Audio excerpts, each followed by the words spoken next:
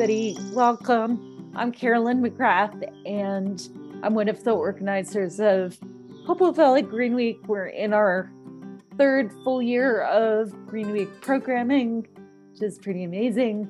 Um, we sort of started off in um, the third year. Yeah. So, um, and as I was saying before, we started almost exclusively with Zoom events, and now we're mostly doing in person events, which are wonderful. Um, and I want to thank um, our speakers who are here this evening.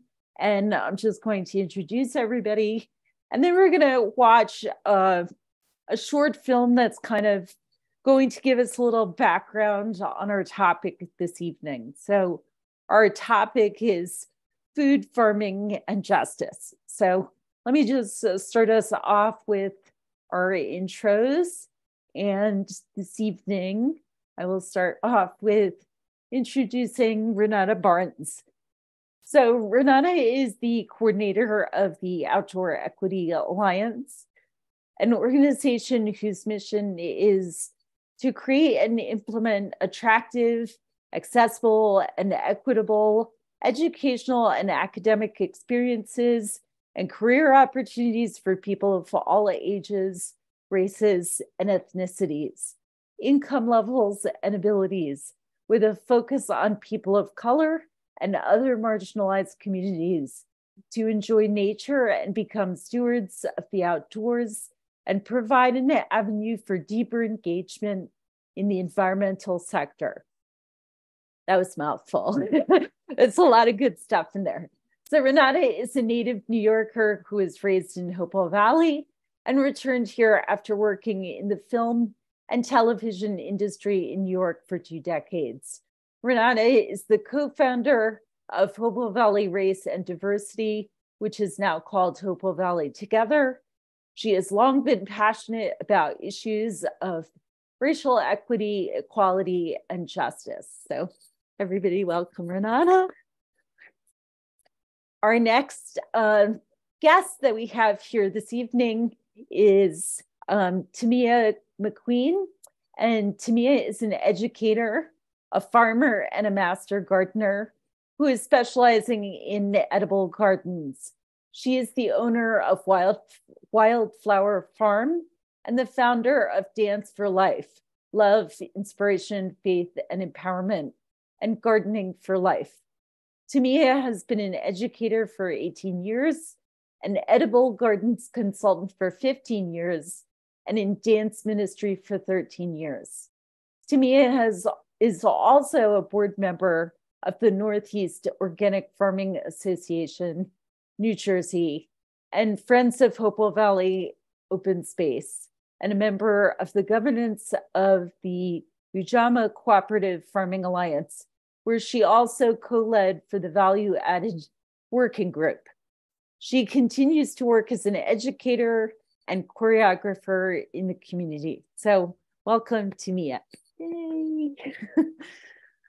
um, so, we have the um, wonderful uh, luck this evening that we have two Central High School students um, who are going to be leading this conversation and um, I'm going to take a back seat, which is what I prefer.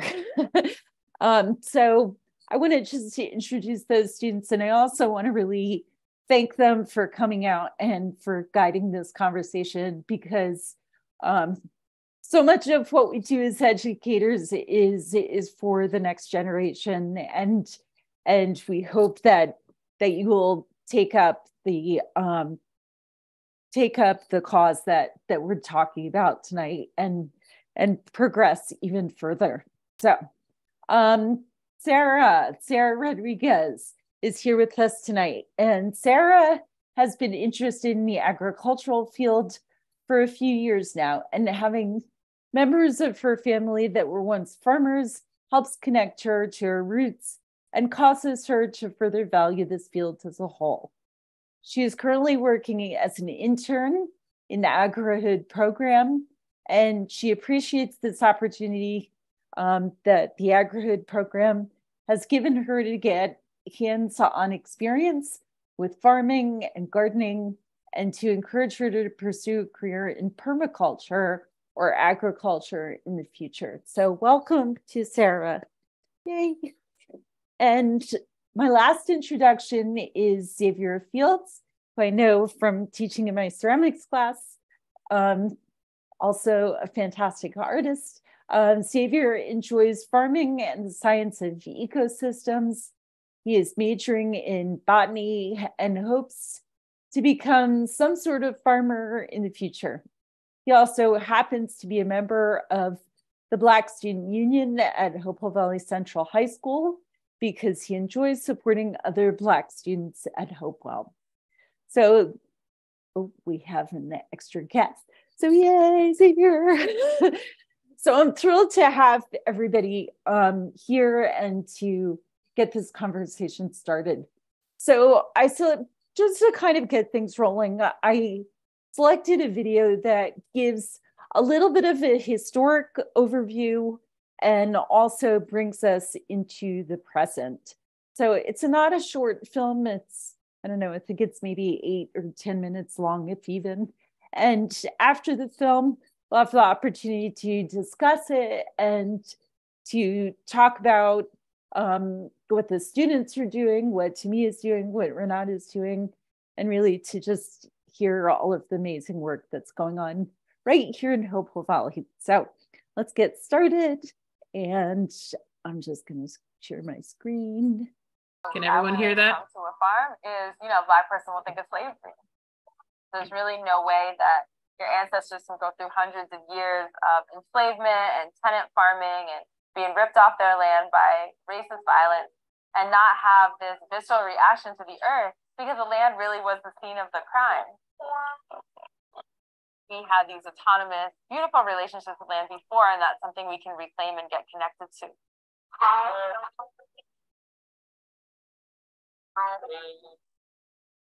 Black farmers have historically been missing from narratives about farm life. There ain't nobody gonna push me off my land. From Hollywood films, if you build it, the PSAs in the 2000s. Farmers were our foundation. They're the ones who made us strong. But Black farmers have always been here. In spite of the broken promise of 40 acres and a mule, Black farmers made up a sizable 14% of the farming population in the 1920s. Fast forward to the 80s, when they were said to be on the brink of extinction. Then in 2012, the agriculture census showed a rise in Black farmers. But a new food economy investigation earlier this year disputed the increase, saying it reflected changes in methodology, not reality. One thing is certain there's been a rapid decline in the number of Black farmers over the past century, and there's no shortage of reasons why. Widespread USDA discrimination against Black farmers who needed loans and assistance, as well as Black land taken or lost through force, local corruption, and fractured land titles all played a role. Now, with the case for reparations gaining traction in Congress and among Democratic presidential candidates, the history of Black farmers and land loss is receiving new interest. Come on, kiddies. Want some eat? Hmm? The family of Ernest Vines, a retired auto mechanic and former farmer, is among the many Black families in the rural South who have lost land. This house right here, this was my great granddaddy and his wife. This where I was born in. I was born right, right there. I was born in 47, 1947. In the early 1900s, the Vines family purchased roughly 50 acres of land. This deal was made on the 5th day of February 1906. Ostervine with my granddaddy. They purchased land from the Dawson, and they and they purchased for seven hundred and fifty dollars. They first started losing property in the late 1930s when a white neighbor claimed 14 acres of their land. Vines' father tried to fight it in court. This is my father right here. Everybody say he favored me. When I knew my father started going back to court in the in the 30s, because of the name had been no taken away from it. So my oldest brother, he would tell me my father would go up to the courthouse and come back with tears in his eyes, what people done done and how they could do things, how they could, could do things and get away with it. And he died unhappy, a heart attack. And I believe that's what really put a stress on Over the span of 70 years, both him and his father dealt with land disputes that cost the family half their property. He went to Holy Hill, and you're not the only one in this area that happened to him. A lot of people ain't here to, to tell this. People might not think this is not real, but it is, it is, it is real. It was a colorful thing. And that's why a lot of black farmers couldn't make it. And that's why a lot of them left, went, went to the city. Because it, was, was not fair with what they were trying to do. Unable to get a farmer's loan and keep up with court fees, Vines took a step back from farming in the early 1980s. Several years ago, him and his wife found a way to keep the land in use. We donated to the church and they're training young generation how to farm and how to grow different things. I thank God that I fight it and they let my father, they let my mother, they nobody down, they let God down. I think I did enough out here. So that's a that's a younger generation, younger crowd going and do what I used to try to do.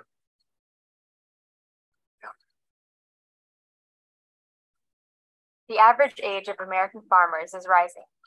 So some Black farming organizations are seeing a new generation of growers emerge. 26 year old Kendrick Ransom is one of them. He runs an organic vegetable farm on family land, less than 15 miles from the Vines property. I don't know many black farmers around here, especially not young farmers. I do have a couple elder farmers that come out to the farm and help me give me some tips every now and then. Back in 1925, black farmers in Edgecombe County outnumbered white farmers. But by 2017, the number of black farmers dropped by 99%. Where y'all at? Ready for breakfast? When people think of a farmer, I believe they think of a poor peasant, you know, someone that's uneducated, just of the land, you know, just likes to get dirty. I don't really think people really grasp the significance of farming and the the, the role of the farmer. What's up? Sleep good? I got into a bunch of trouble when I was younger, and I started driving dump trucks, and I started breeding dogs, and then later on became uh, the agricultural piece that was more so like an awakening for me. You know, it was more so of a calling. I got a lot of weird reactions. Folks just couldn't wrap their minds around it, and it was just like farming. This guy wants to be a farmer. Using the bathroom, baby.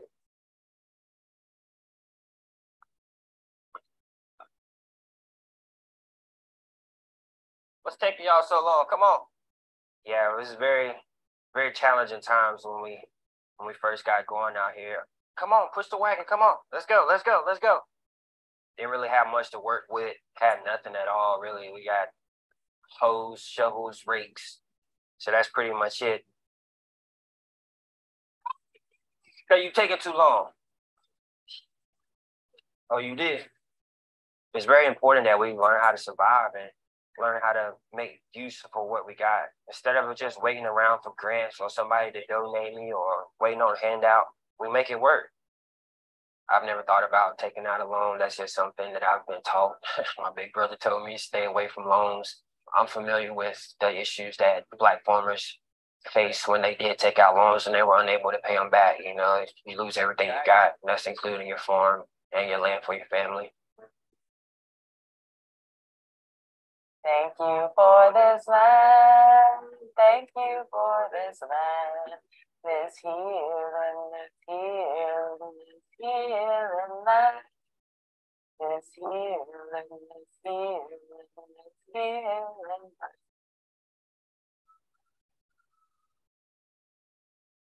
Yeah, yeah, good morning. Good morning. I am the granddaughter of Brownie Lee McCullough, who was displaced from her land in Rock Hill, South Carolina as a child of the Great Migration I am the granddaughter of Samuel Cornelius Smith, who was displaced from his land, fleeing from abuses of government in IUC, and was fortunate enough to be the first returning generation of the grandchildren to find land again. Over a decade ago, Leah Penniman and her husband bought 72 acres in rural Grafton to start Soulfire Farm, a community and teaching farm while some folks will call it Trump country, this is actually Mohican country. This is native territory, and it also has a long history being black land as well. Harriet Tubman built her farm not too far from here, as well as the Timbuctoo Black community and Rapp Road Black community. So it's not that we don't belong here, but we are definitely reclaiming space after many generations of being forced off of this land.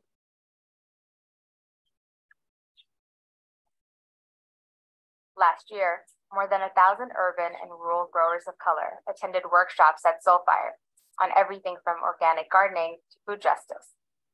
Soulfire also launched what it calls a reparations map, where people with the means can locate farmers of color to donate to. The reparations map is a people to people land and resource redistribution project that matches up Black and Brown farmers to folks with privilege who want to support their projects. One, two, three, four, five. 70. Okay, so we have um, currently around 70 entries into the reparations map. We do a lot of uprooting racism trainings for white-led organizations and in white spaces, and the reparations map is one of those what you can do kind of things that uh, most people have the ability to engage with at least at some level. These projects have received anything from, you know, a few thousand dollars to an entire parcel of land for their projects so that they could go forward with their plans to feed the community. We're situating it as a remedy, one remedy to the long legacy of land theft and dispossession. I think when you frame it as charity or a fund, you're leaning into this idea of the worthy and benevolent donor doing the right thing for the community. But this is really about justice and fairness and correcting a past harm.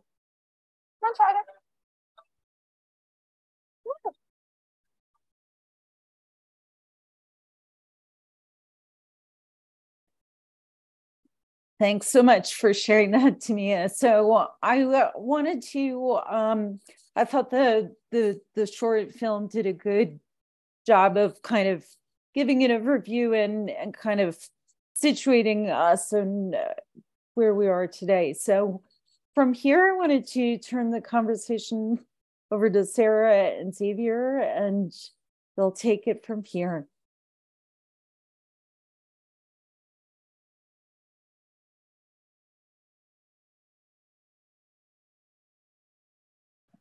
Hi, I, I guess we'll take it from here. Um, so we're just here to basically ask questions. Uh, and we have questions. So, um, Ms. Barnes, can you um, describe the Outdoor Equity Alliance program and the AgriHood program for you know those who don't exactly know what it is? Sure, no worries. You can call me Renata.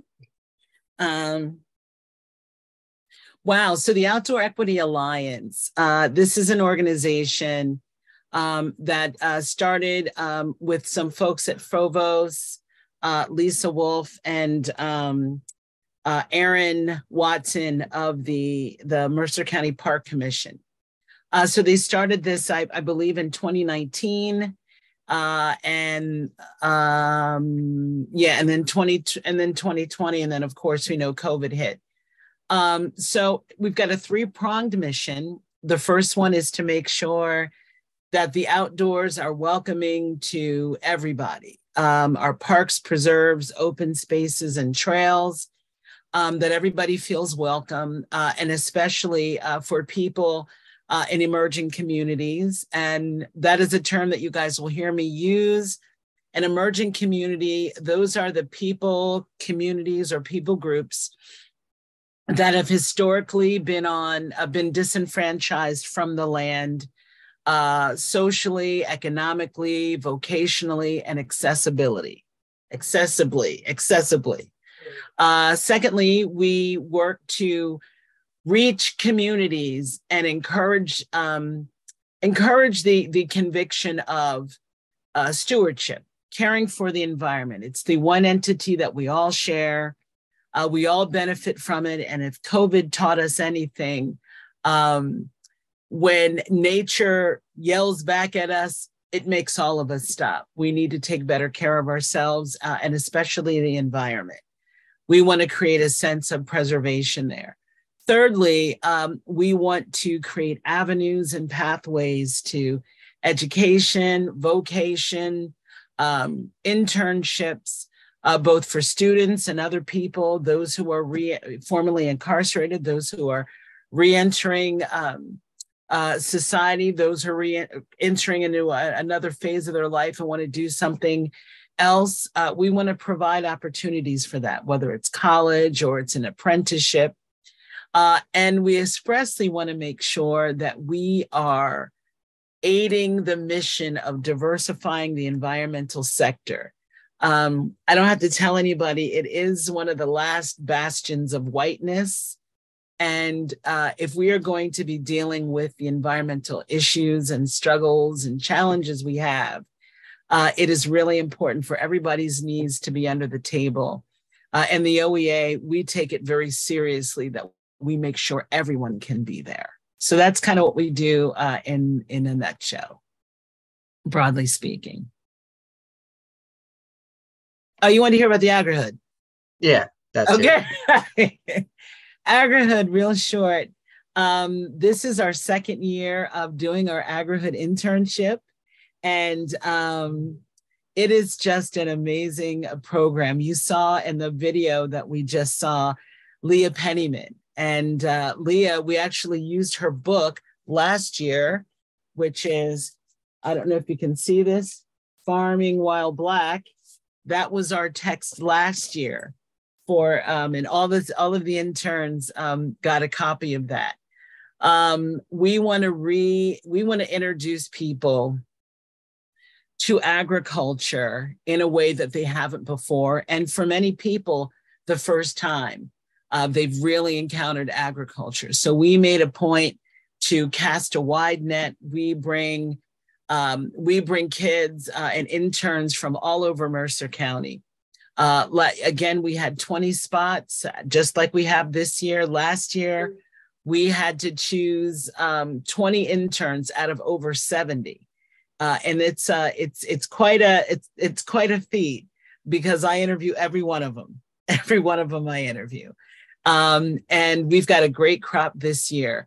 We want to uh, introduce people to uh, the people who farm, where your food comes from, um, why it is important to um, to take care of the environment. We're trying to show the connectivity between who we are, what we eat, and who produces our food. Um, Farmer Tamia was one of our farmers last year.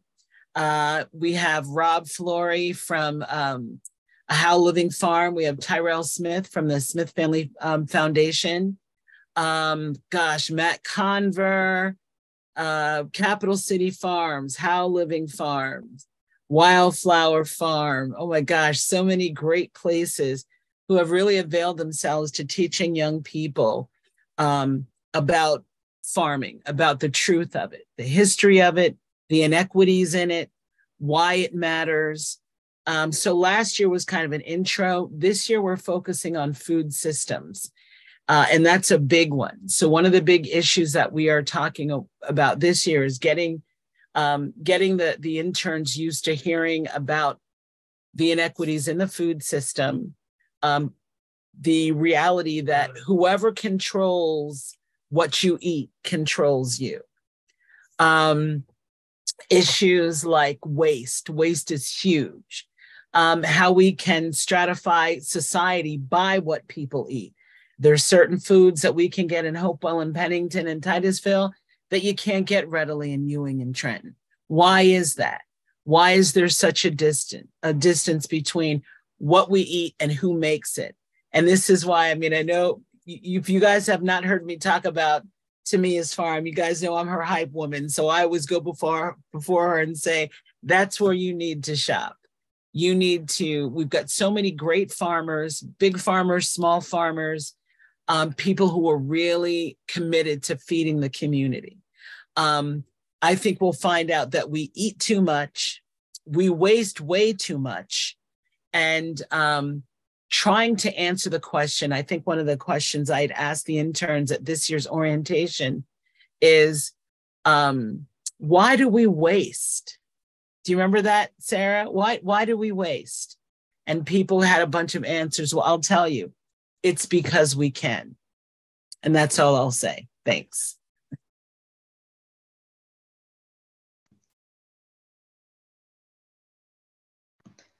I just had a few questions for Tamia as well. Um, how did you um, get into farming and how would you describe your job at Wildflower Farm? Oh, goodness. So um, I got into farming um, by following a rabbit hole. so uh, the short version is that I have scarring alopecia. And after about 10 or 15 years suffering with it, I did a YouTube video. I'm just trying to help, you know, other people that might be suffering with it. Um, that video blew up on me a little bit uh, and ended up with something like 700,000 views or something crazy like that. But it was the comment section that really pushed me. I was already a beginning gardener, but it was the comment section that really started having a conversation about nutrition that sent me down the rabbit hole of uh, food. And so that's when I really want, started wanting to grow the food that my family ate. Um, and it stopped being so much as trying to figure out the cure that the doctors didn't understand, and more so about wanting to ensure that the, the food that we fed our family was as healthy as it could possibly be. Um, even then, I was a gardener. I, I had not intended on farming. Um, and when we decided to leave the suburbs, my husband basically said city or country. And when he said city, he meant Manhattan, which is where we met. Um, and I opted for country. You know, I we had kind of decided we didn't want to be in the typical Midwest suburban bubble anymore. Um, mostly for the sake of our kids having other opportunities in terms of schools and also having other life experiences you know we we traveled quite a lot to get them to accustomed to being around lots of different people and we decided we wanted to live in an environment where there were lots of different other people instead of having to travel overseas or travel somewhere else. We wanted to be closer to communities that had more diversity. Uh, that was very important to us. We actually moved to our farm. We found our farm by accident. We actually were looking at a place across the road. Um, our last day on the East Coast, uh, last house, and we we came out. We knew that wasn't for us, and there was a sign across the street and uh, um, unlike me, my husband decided, well, let's knock on the door, which is being from Detroit, that's not something I would do. Um, but he decided, well, we'll just go knock and ask uh, because the real estate agent didn't know anything about the property. And that was really the, the end of the, you know, or I should say the beginning of an entirely uh, new journey. So the farm, uh, you know, we didn't go, we actually opened commercially a month before COVID hit. So that was entertaining. Um, well, not really, but it was a journey. Um, and we are, everything is organically raised, soy free, and we try to be as sustainable as possible, meaning that all of the breeds, with the exception of our broilers, all of the breeds that we have on our farm of our animals are breeds that are known to raise their own young, which many people don't know a lot. You know, most of the commercial breeds cannot and do not. Um, we are focused on conservation and agriculture and trying to show people that not only um, can it be done, but it should be done. Quite often, there's a divide between agriculture and conservation um, that doesn't need to be there and shouldn't be there in terms of sustainability. Um, having lots of space where people can walk around and people are hungry, kind of that's a problem. And yet, tearing up all of your wild areas in order to have monoculture crops is also a problem. So we're hoping that we're a 42 acre farm. Uh, we're about 20 acres of woodland, 20 acres of crop and pasture uh, space. And we hope that over time we'll be able to show people how you can use your land in a regenerative way and in a, a way that is in line with both teaching people to feed themselves and also conserving your space. So for instance, we run our chickens, uh, our pastures have never had seed on them. They were very depleted when we got here because they, uh, the people who lived here before had retired and allowed a farmer to use that land. And so they were doing corn and soy and wheat and all of the other depletive um, monoculture crops. And what we did is we started running our birds down those fields. and the greenest pasture is the one that they were on the longest. And then the one after that is the one they're currently on. And so using those methods rather than chemical fertilizers is a very powerful, very useful. And we still have our meat. We still have, can sell those those animals, and, and all of the other things that go with that. We uh, we are aiming for zero waste. We're not there yet. Um, and so even in our processing, we use as much as possible that goes back to the gardens or goes to the fruit trees, et cetera, et cetera. Um, we are also, so we do organic soy-free uh, poultry, uh, grass-fed lamb, and our organically raised vegetables. We are not certified yet, but we're hoping to get there, uh, ideally this year. Um, and we also are a seed grower uh, for both Ujamaa Seeds and uh, another seed company as well. And we focus on culturally significant seed and crops. So, um, you know, we do things like, for instance, that you, there are many things that we can't, you know, as Renata mentioned, can't find in our grocery stores. People who traditionally eat certain things, for instance, I can't find, you know, turnip greens, right? And there are people who can't. We were talking about the Scotch bonnet peppers that are harder to find. And so there's a group of us that have gotten together and decided we're going to grow them ourselves for our families. Um, and so that kind of, you know, that seed growing has ex- extended into a gardening club that brings community and and and a culture of being amongst each other and growing food that we our families traditionally enjoy eating. Um, and so the other thing that I would say about the farm is that we have what I I'm a little strange. I'm I'm told I've been told by farmers it's not a great business policy, but I we have two humane policies. So we have our purple banding policy, uh, which simply means that an animal, if it's purple banded, is never processed and never sold for whatever reason. They might be an excellent mother, an excellent, you know, papa paparoo or whatever have you. Uh, we don't clip wings, we don't clip beaks, we don't tr- um, trim claws. We, if an animal um, has one bad day. Our one bad day policy means that we hope to only have our animals have one bad day. That's the day that they leave or the day that they're processed. So if we have an animal that's attacked, for example, we have predation issues because we free range, then if it survives with care from us, it's never processed and never sold as purple banded. And if we can't maintain it on the property, it's it's taken to a sanctuary. We don't do double jeopardy. We don't help it get better and then turn around and process it. Uh, again, I've been told that's bad business, but that's my philosophy in terms of balancing the fact that we eat meat. Um, and I tell people, you know, if you're going to eat it, you really should see it be done or partake in doing it at least once in your life. And nine times out of ten, you'll you'll get there where you're not eating as much, you're not wasting as much.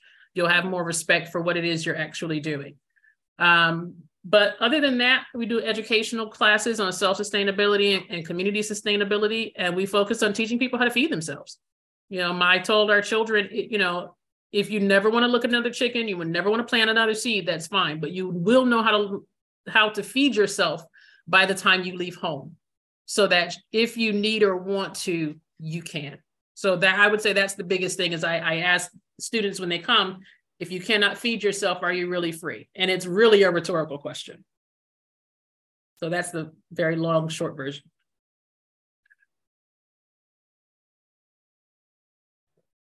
All right. So I just had like a, a general question for both of you. So for the video that we watched, um, can either of you in any way like relate to that video at all? Does it evoke any feelings that you felt or anything that like you can relate to specifically in your respective fields? Our, our respective fields. Was that a pun? I don't, I don't know. Was that a pun? Just, um, oh my gosh. Yes, I uh, I saw that video actually a couple of times, and um, you know, full disclosure, uh, Tamia and I are pretty good friends, and we talk about stuff all the time. We talk about these things all the yeah. time. Um, I think the thing that really stuck out with me, um, and that when I hear when I hear Leah talk, and I hear people who are very connected to um, issues that um, the environmental issues, and it's really what's really interesting is many of the people that I know like this wasn't the this wasn't the trajectory of life. Like somewhere we made a left and i was like how did, how did we get here? But um life was so that it it it brought us here. And i think with that journey um just listening to to leah and again i've read her stuff she's got a she's got a couple of books and things out um i think the thing that probably resonates with me the most is the closer you get um, to the land, the more of yourself you'll find. And I'm trying to find a different way to, to say that. Um, there's a there there's a piece, if you will, a knowledge. I don't know. I know this sounds all, you know, all hemp and lava lamps, but I'm trying to find a really cool way to say it. Um, I will say that what I what I witnessed in last year's um, Agrihood was something that um, really, really, um, really, really affected me. And one of one of those things that happens, and you kind of see you're on the right path. Um, some of the kids, when they put their hands in the earth, not the dirt, but the earth, the soil, and they they they really got their hands in that, there was something transformative about that. They started to see the idea of getting dirty or earthy um, very differently. And when I when I had pointed out along with Rob and some other farmers that this dirt that we you know we come in and we want to get it off oh i'm so dirty you know then you remind them that that same stuff that they're washed they're wiping off and brushing off and want to get off them is the thing that feeds them, that feeds that tree, that feeds that potato, that feeds that animal, that feeds the air that we breathe and the fish that we so so many things when you see that interconnectivity and it's not you know it's not a big long equation it's a couple of simple lines and then you get that ah but when that big that that one line of not connecting with the environment is missing so much of who we are and who we can be and where we've come from is gone too. But when they make that connection, they see themselves and then they see themselves in connection with everybody else. I, I think for me, because I've seen that video a couple times as well. Um, I think for me, the thing that resonates is my so my grandmother was the child of sharecroppers in Mississippi. Um, my great grandfather on the other side had about 110 acres in Mississippi um, that was split up between his t- 10 children um, so that it couldn't be sold, basically. It was deliberate. Um, and my grandfather's 110 acres had oil on it, um, which he was not allowed to keep because he was Black in the 1920s, uh, late teens, early 20s. And so I look at what would have been what would have been different had my grandfather been allowed to keep that oil what would have looking at the life that i've had and the life that others i know have had for better or for worse how would it have been different if he had been allowed to keep what he worked to buy right and then I look at my grandmother and listen to the stories. I've grown up with being taught Black American history at home because it was not taught in the schools and certainly not in the schools that I grew up in. You know, I went to both private and public schools and you didn't get it in either. You got a little bit more in the public schools, but not much. And that was usually directly from the teachers who cared, right? So most of, most of my learning was from my family because they were determined to teach us. But that also means that I got the stories that my grandmother shared about growing up and being beaten for running through the white man's cotton fields and all of these other stories and how the sharecropping system actually worked and how you know they would tell them you would get a bit of a profit at the end and there was never any profit and not only was there no profit but they would be charged for renting the tools you get all of this you know the the the trauma that is associated with the land and so, you know, last year I was actually at one of the agrihood events, and there was um, a beautiful uh, horse and, and an old fashioned plow being used. And I was standing next to it, and and and you know, Rob was like, "Who wants to go next?" And I just backed up. It was a visceral reaction to being next to a old fashioned horse and plow. I had never been on in, in that scenario, but it was embedded because of the trauma to my family. And so, even on my own land, there were times where it was like, I'm working hard and I'm outside, and it's like, why am I out here working like a slave? And I had to stop and catch myself because that that healing from the trauma needed to happen. And you have to tell you, oh, it's okay, I own it, right? But what about all the people who haven't had that opportunity to heal? So there's a huge uh, trauma that needs healing. Is is kind of what that video reminds me of. And I think that this movement of, of, of people of color, particularly Black Americans, going back to the land and reclaiming this agricultural heritage that we had long before the transatlantic slave trade is a very powerful thing. And it's just a beautiful thing to see people re, uh, having that reclamation and that healing with the land. This kind of segues into what you were just speaking about.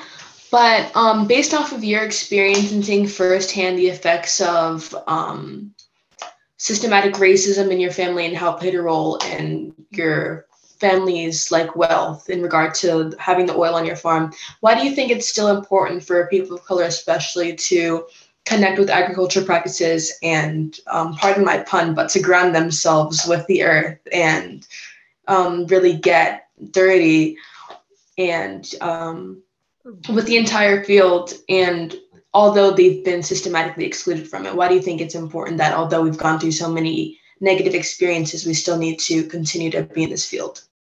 I, I think that healing is is critical. I don't i don't think it should be optional for many reasons. Um, but also looking at your food that you consume doesn't doesn't begin to it is not doesn't just affect you. It affects generations to come.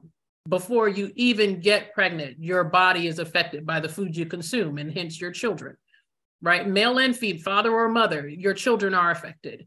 The food that your children consume affects their education, whether or not they're, how well they're able to receive what it is that they're being taught, how well they're able to focus and behave, what career path they then choose, what track some public school decides to put them in.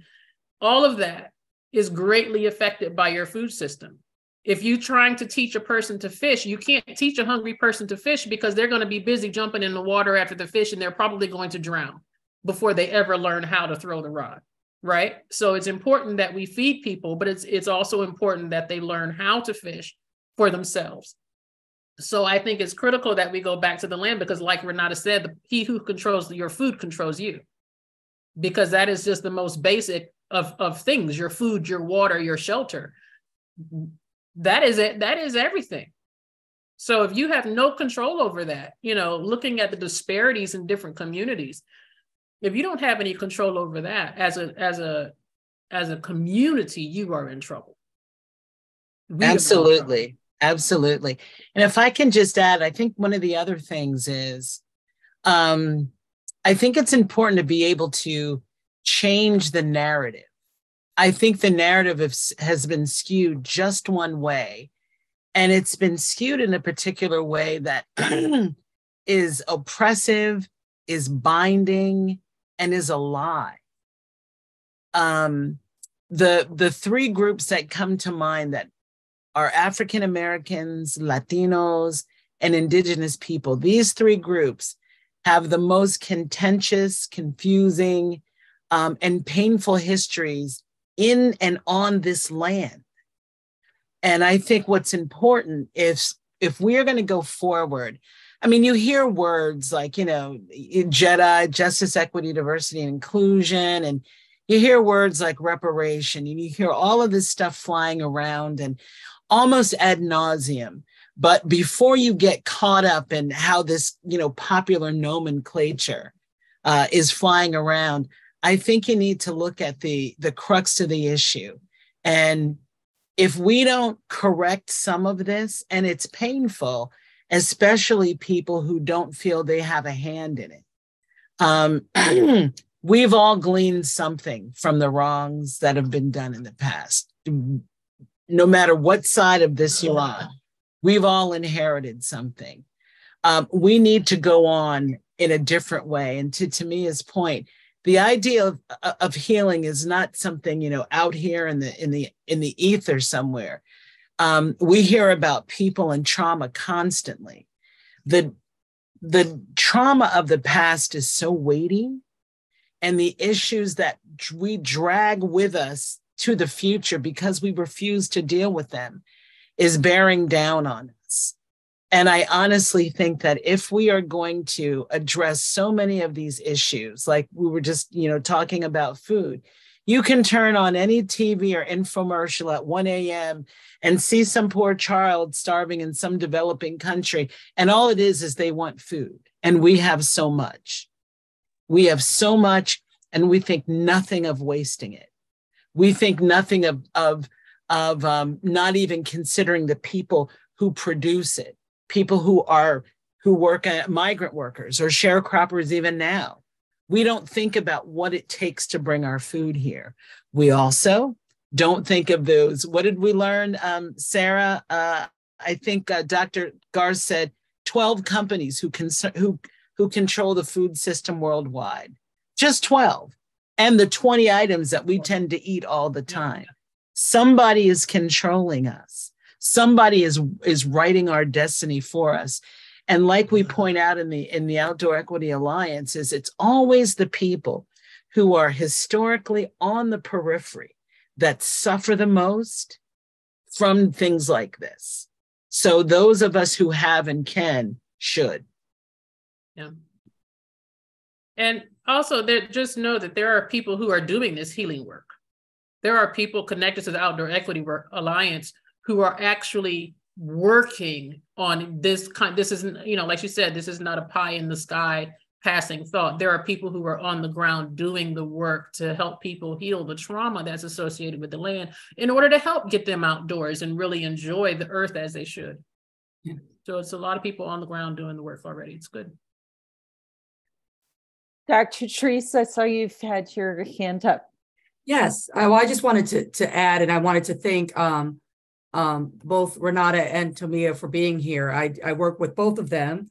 Um, I've been invited into that community of gardeners, even though my my best plant is weeds. I grow them very well.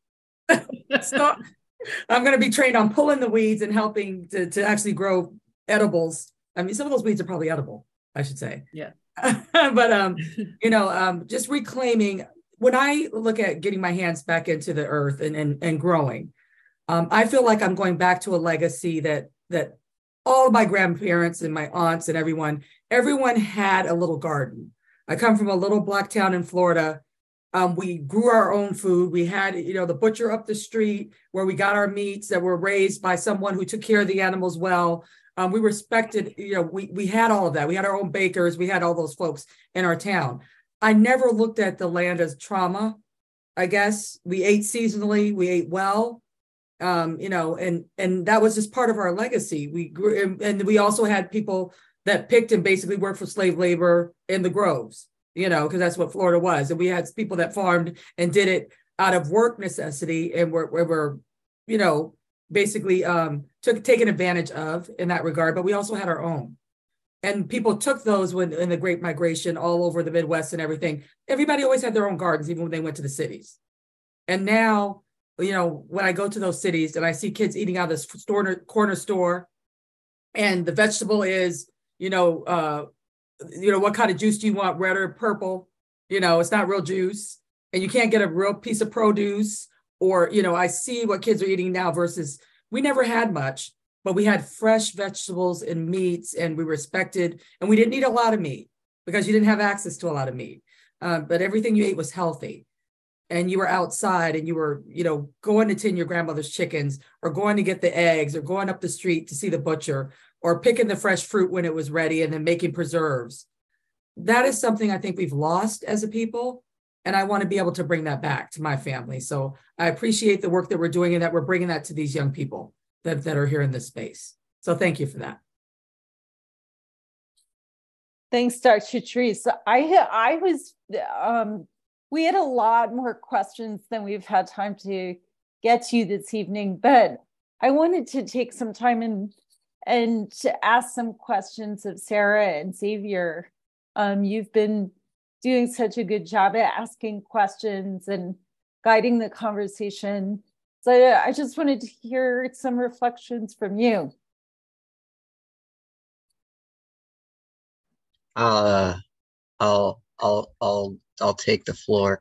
Um, I can definitely like I I can relate to a lot of like what you're saying because my name is Xavier Fields, and Xavier means the new house, and Fields means fields.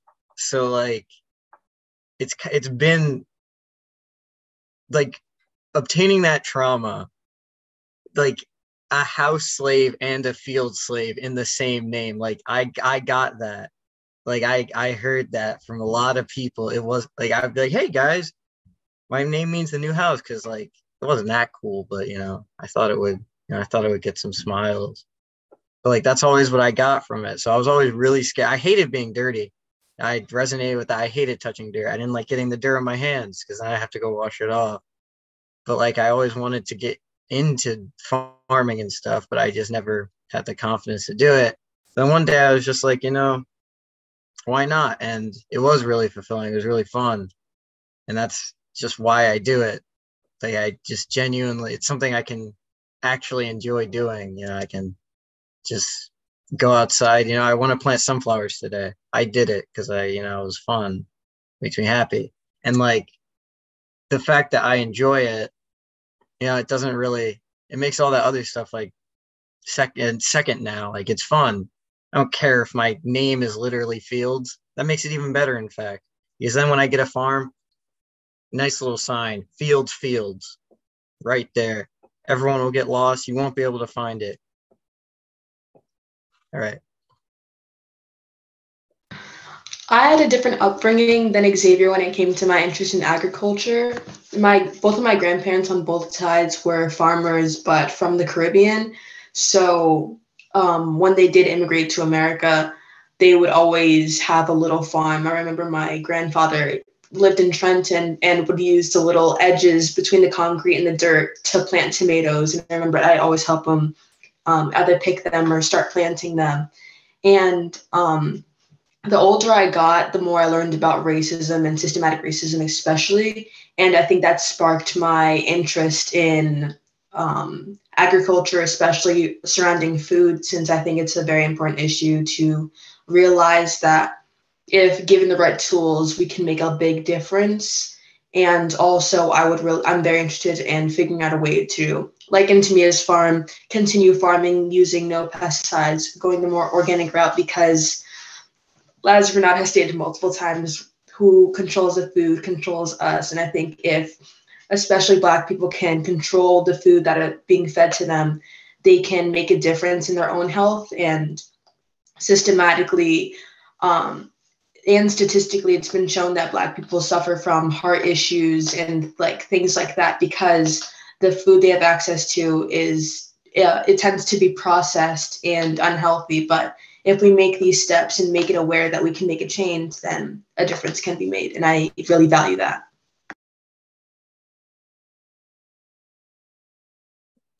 So I wanted to thank everybody. We're we're about out of time. I don't know if there are any burning questions in the audience before we wrap up for the evening. Um, this conversation could could go on much longer. It's so rich. So um just wanted to give pause for a moment to see if anybody had questions or last comments. Renata. Oh, I just wanted to put a plug in for my girl Tamia. Um, you guys should make it a point to get over to Wildflower Farm. Uh, and I, I think the uh, website is wildflowerfarmnj.com. Yes. Um, yeah, you should definitely check it out. She does farm tours. You can get your eggs there. You can get your chickens there. You can get your turkeys there. Support local farm. And I know you see a lot of those things. I'm not playing with y'all. I don't want to see you in the market. You don't need you don't need to go to the market as much as you go to the market. Um, please support a lot of these great farmers out here. Um, she does great classes. Um, on growing garlic, growing other things, how to get started, homesteading. and um, I really want to support. I really want to support, and I want to see our community get behind Tamia and the other farmers.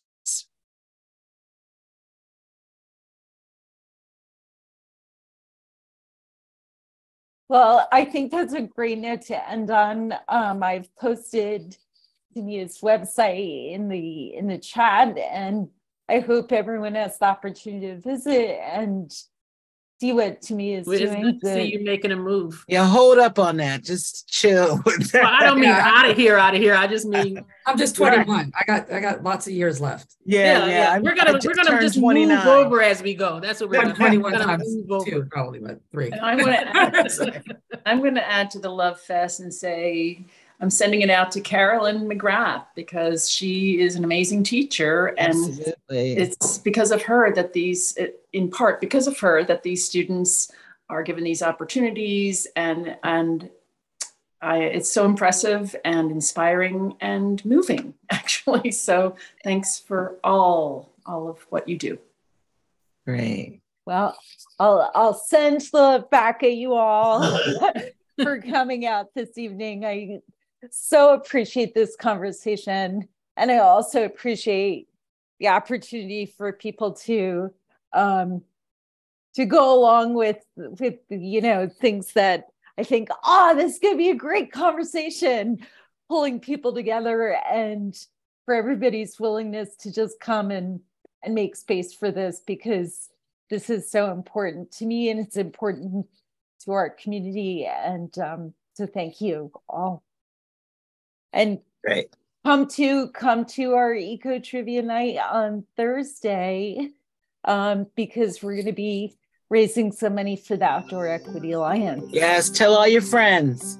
Yes, you can sign up on the Green Week website. Have a good night, everybody. Thank, Thank you. you. Good night. Bye. Thank you so much. Thank you, everybody, for coming. Thank you.